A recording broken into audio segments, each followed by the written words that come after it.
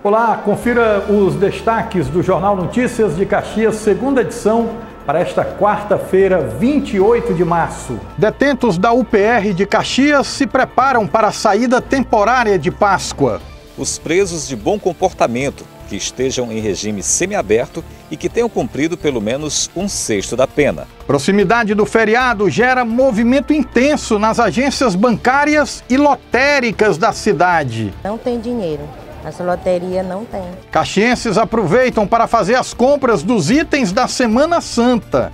Como vai ser fechado o fim de semana, a gente aproveita para comprar. Será realizada hoje mais uma edição da Procissão do Fogaréu. Vendam tudo que tem e distribuam aos pobres. É daqui a pouco no NC2.